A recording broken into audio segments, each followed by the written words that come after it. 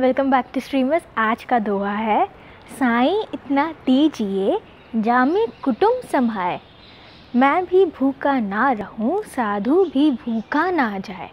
अर्थात कबीरदास जी कहना चाहते हैं कि, हे ईश्वर, मुझे इतना देना कि उसमें मेरे और मेरी परिजनों का तो पेट भर जाए, उनको रहने और खाने पीने की ठीक व्यवस्था हो जिसमें हम रह सकें और ऐसा भी हो कि जो आने वाला इंसान है, जो हमारे अतिथि होंगे, वो भी कभी हमारे घर से भूखा ना जाए।